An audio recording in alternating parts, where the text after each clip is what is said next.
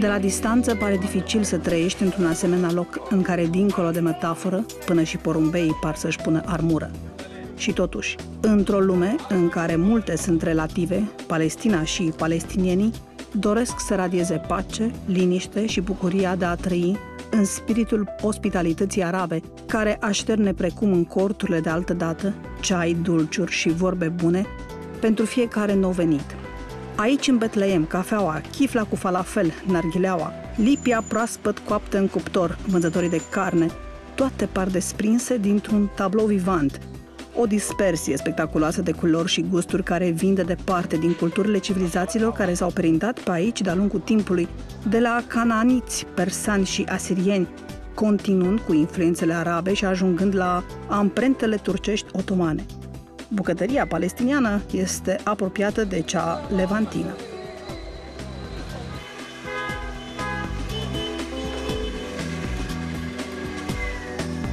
Pe străzile pe care uneori s-au purtat lupte, poți da mâna cu normalitatea. N-am rezistat tentației și pentru câteva minute mi-am luat o pauză de la filmare.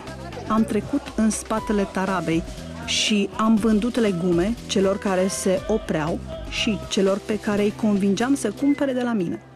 Ținuturile palestiniene au destinul paradoxal de a fi asociate cu pacea și liniștea spirituală, deși, în apropierea zidurilor despărțitoare și a fuiarelor de sârmă ghimpată care pare că nu se mai termină, se simte permanent o tensiune care pune stăpânire mai mult sau mai puțin pe simțirile fiecărui trecător, călător sau pelerin. Palestina nu înseamnă doar conflict și martiraj, ci și speranță, un sentiment care îi face pe oameni să umble cu inimile la vedere. Aici, în Betleemul Palestinei, renaște speranța.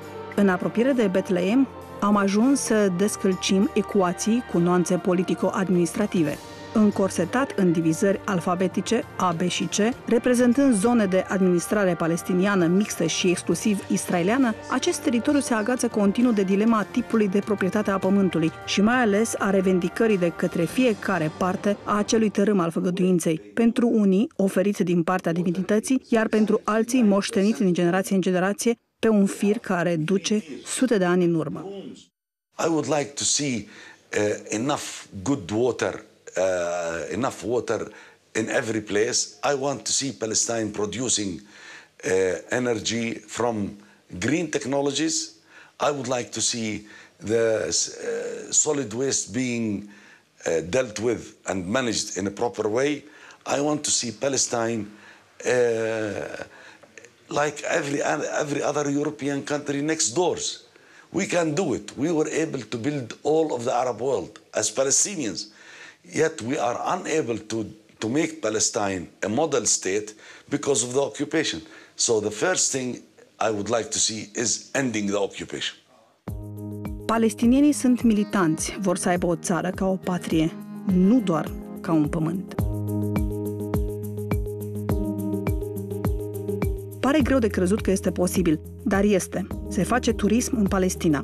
Și am putea spune că industria ospitalității atinge parametri remarcabili. Motivele sunt lesne de înțeles. Dincolo de trecerile repetate, prin dincolo și dincoace de către un checkpoint, șederea în Palestina este plină de salvoare și adaptată oricărui buget de călătorie. În plus, Există șansa de a vedea pe îndelete ce înseamnă orașele și satele, cum socializează oamenii și neguțătorii, ce se află dincolo de Biserica Nașterii sau de Grota Laptelui și mai ales ce înseamnă seri liniștite în peregrinări prin labirintul uliților orientale.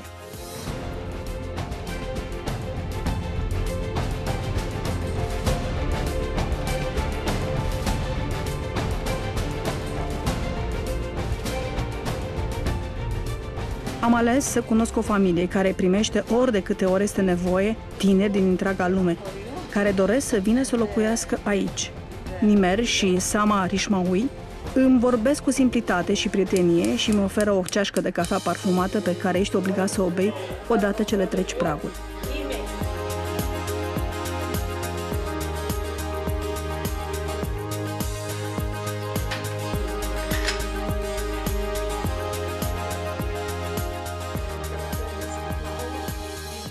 Rishmaui este una dintre organizațiile non-profit implicate în acest gen de inițiativă de uz comunitar. Totodată, Rishmaui este și un important partener pentru programul special numit Calea lui Avram, care reiterează călătoria primului dintre cei trei patriarhi ai Vechiului Testament în țara făgăduinței. Rishmaui sprijină dorința tinerilor palestinieni de a se implica în activitățile locale și internaționale. În ultimii 15 ani, tinerii care doresc o astfel de implicare, sătui de libertatea alternată de conflicte și de o viață dificilă, dar cuprinși de un spirit de aventură, doresc să descopere lumii frumusețea unei țări pe care mulți nu o cunosc.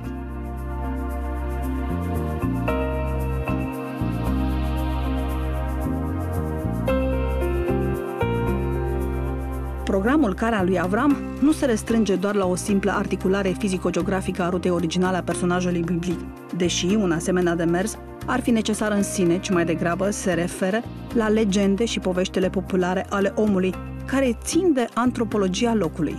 Mersul de plăcere este un concept nefamiliar pentru cei mai mulți dintre palestinieni, în ultimii cinci ani, însă, excursioniștii, în principal diplomații străini și jurnaliștii, dar și localnicii, au început să facă parte integrantă din decor, fie că e vorba de deșertul arid din sud, fie de văile abrupte din zona de nord. Într-un cuvânt, Palestina cunoscută în maniere sui generis a drumeției care poate oferi nebănuite satisfacții.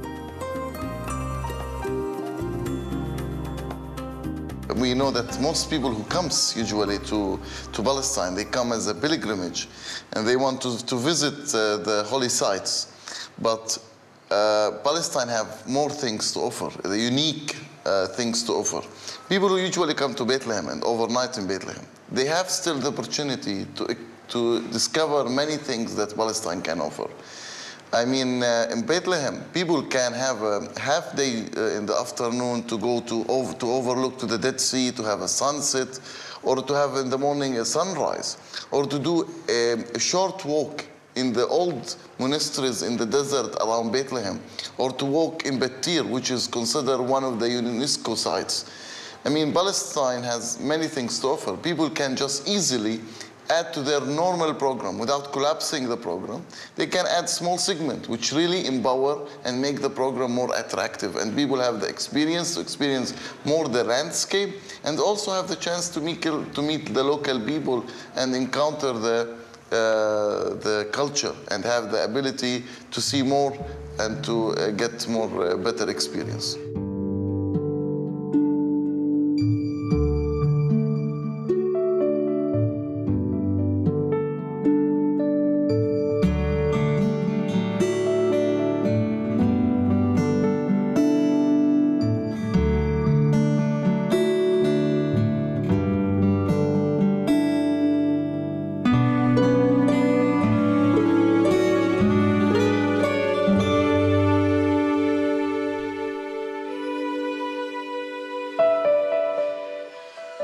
Ajuns la Beit Sahur, un oraș binecuvântat în raportare, la câmpul păstorilor, loc din care cei care își păzeau acum 2000 de ani caprele și oile în liniștea nopții au văzut steaua deasupra locului nașterii din Betleem. Se face și aici turism. Și încă unul de calitate. ATG Alternative Tourism Group is an organization started in 1995. And the idea behind establishing this organization was the need of showing people the other side of the story because most of the tourists used to come to Israel and ignore the Palestinian side, or they don't have the option to encounter the Palestinian people, to know more about their culture, history, social life, and political realities. And this was actually the idea behind establishing this center to give the people the chance to visit the religious, historical, archaeological sites, but also to have the chance to meet the Palestinian from within, to know more about Palestine, about their culture, history, and to know about their struggle and about their, you know, uh, realities.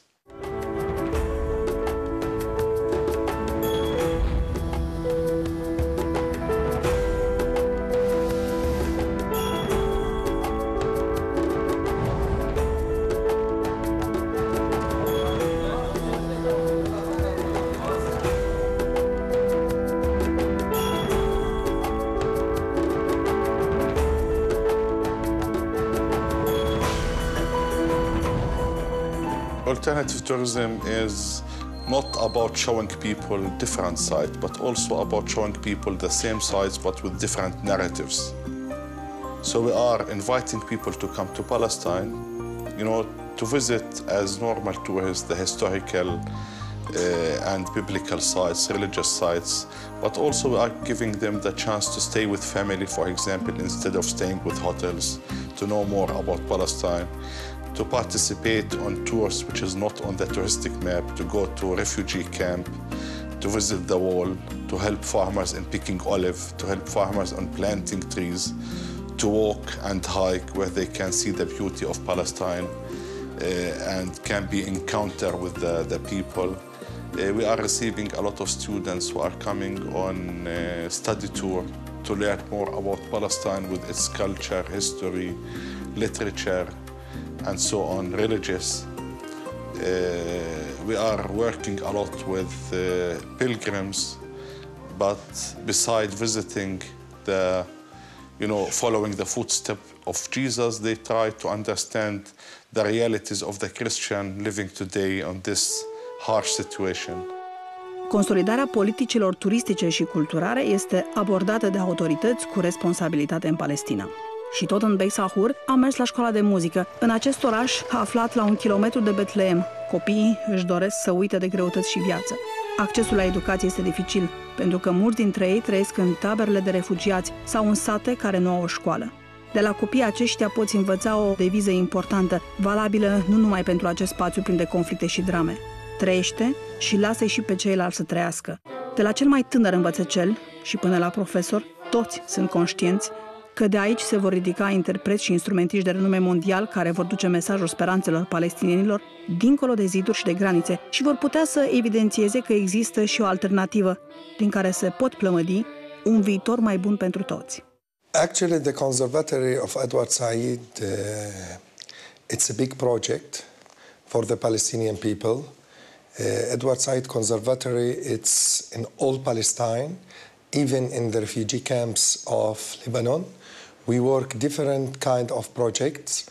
Uh, music give a future and hope for the Palestinian people because the terrible situation what they are living on, it's very difficult. Through music, we can change a lot of things inside them. In the same time, in the uh, music, it's a kind of identity for the Palestinian people actually to give that the Palestinian people have a very good culture, very nice, modern, and very, very uh, good, peaceful way for living.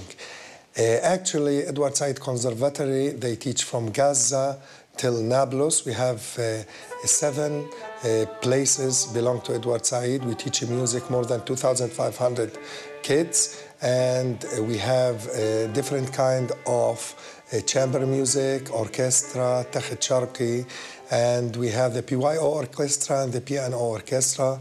The PYO orchestra, 65 musicians. They've been outside in all over the world, most all uh, the best places of uh, uh, opera rooms in the world, and we give a very good uh, face for the Palestinian people through this orchestra, through this music.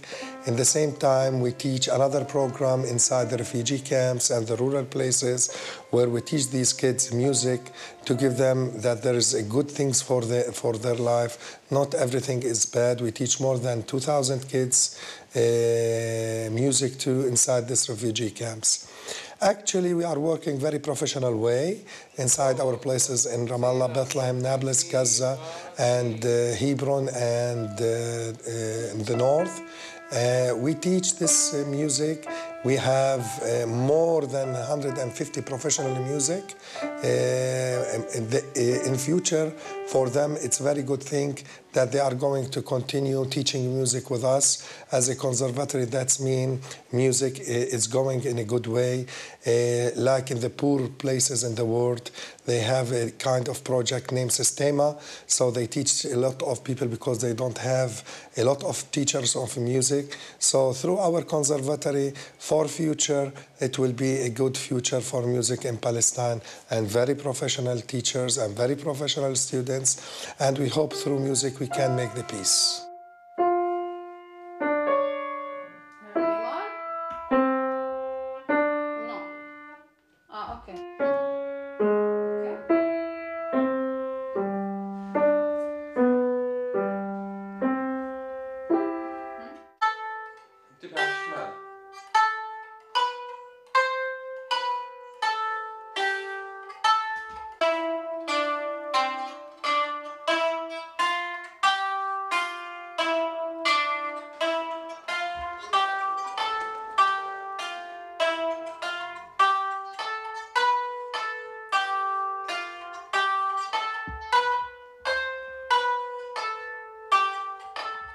Betleemul contemporan înseamnă mai mult decât Biserica Nativității. Înseamnă, practic, dezvoltarea turismului palestinian.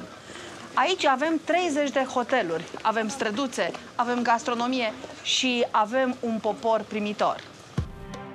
Betleem, un simbol al speranței, al iubirii și al mântuirii. Unul dintre cele mai venerate locuri de pe pământ.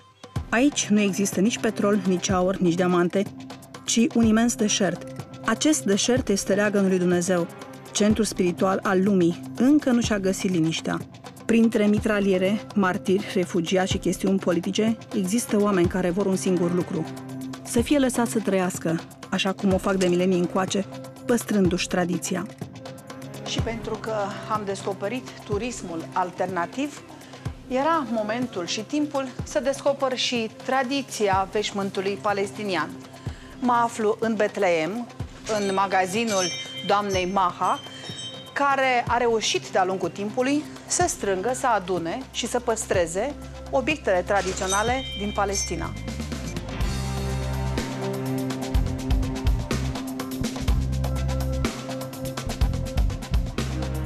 Here In this uh, map, we put the historical and archaeological and religious places, and we join between the historical place and the dress, because every dress is like identity for every village and town in Palestine and you can tell from where the lady, from her dress, because she wrote the story about her village on her dress by, by design. And you can know exactly that this woman is from Jaffa because she put the blooms of the orange on her dress and she surrounded her dress like we surrounded our groves with cypress tree. This beautiful dress is the bridal dress of Bethlehem area. Uh, this it calls the Malak dress. And this is very important and very nice dress for Bethlehem, Beit and Beit Sahur. And the hat is part of the dowry of the bride, and it's full of gold and silver coins. Yeah, and we have here a very nice design called Al-Quwar, and on the hand, a sea and on the side also another uh, kind of embroidery and all of this is handmade and this chest is more than 120 years old.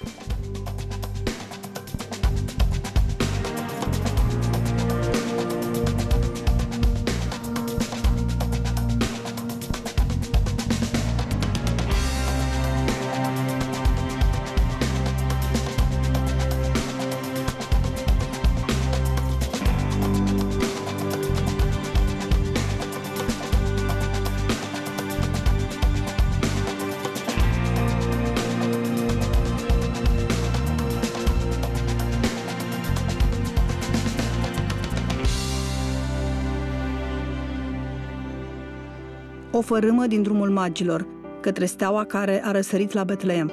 Acum, la 2000 de ani distanță, pășind pe aici, poți simți pe de întregul fiorul istoriei. Suntem la capătul străzii Stelei. De ce strada Stelei? Se pare că cei trei magi s-au călăuzit pe acest drum. Drumul acesta duce exact către locul în care Hristos s-a născut.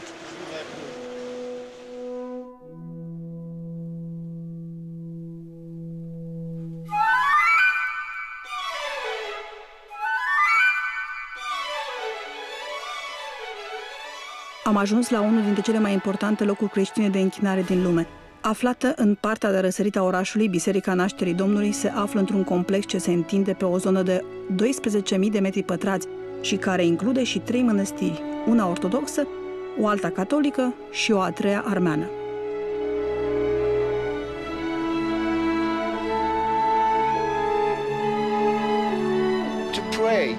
After the, uh, uh the resurrection the of Jesus. Uh, exactly, places. but they were yeah. exactly in the historical places, but they were under persecution. Asemenea multor lăcașe de cult din Țara Sfântă, Biserica Nașterii are o istorie extrem de zbuciumată. Zidurile masive și intrarea minusculă te duc cu gândul la o fortăreață. Ușa a fost cândva foarte înaltă, dar creștinii au strâmtorat intrarea din două motive. Unul, pentru ca invadatorii musulmani să nu poată intra călare în lăcașul sfânt iar celălalt pentru ca pelerinii să se smerească prin aplicarea capului atunci când se îndreaptă spre steaua venirii pe pământ a Mântuitorului. Biserica Nativității, probabil cea mai veche biserică din Țara Sfântă. Altarul de lângă mine se află situat deasupra stelei, locului în care Hristos a născut. Șirul de coloane care susține tavanul masiv conferă un aer impozant bisericii, iar podeaua, în care au rămas mărturiile câteva mozaicuri făcute la cererea Sfinților Împărați Constantin și Elena, este impresionantă. Spre deosebire de alte biserici construite în Țara Sfântă în perioada bizantină, aceasta este singura care a scăpat ca prin minune de distrugere. Luptătorii persani care au cucerit Ierusalimul și ținuturile limitrofe au văzut la intrarea în biserică un mozaic înfățișând pe cei trei magi care se închinau pruncului Isus, magii care purtau veșminte persane. Și astfel au ocrotit locul și zidirea. Chiar dacă se află în restaurare, Biserica Nativității din Betleem primește anual milioane de pelerini care vin și se închină la steaua în care Hristos a născut.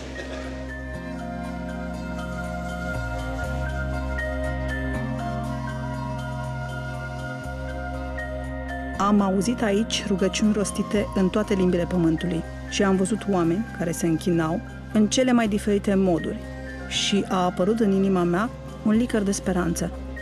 Oamenii pot găsi un numitor comun și pot trăi în armonie, respectându-și viețile unii altora. Palestina e nebănuit de vie și poate că într-o zi, nu prea îndepărtată, va putea începe să trăiască, nu doar să supraviețuiască.